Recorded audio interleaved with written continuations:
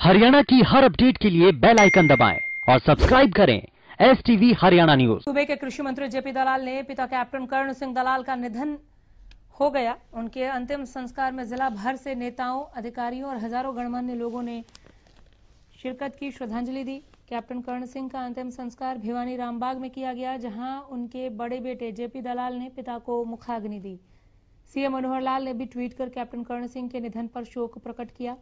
बता दें कि कर्ण सिंह बीमारी के चलते पिछले लंबे वक्त से गुरुग्राम के एक अस्पताल में भर्ती थे, जिनकी बीती रात जिनका निधन हो गया।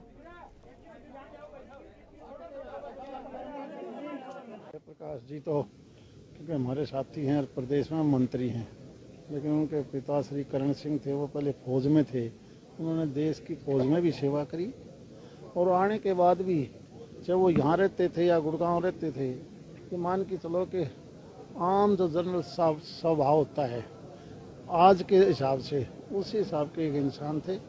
अपने जीवन में उन्होंने प्रदेश और देश की सेवा के लिए भी और समाज के लिए भी बहुत कुछ किया।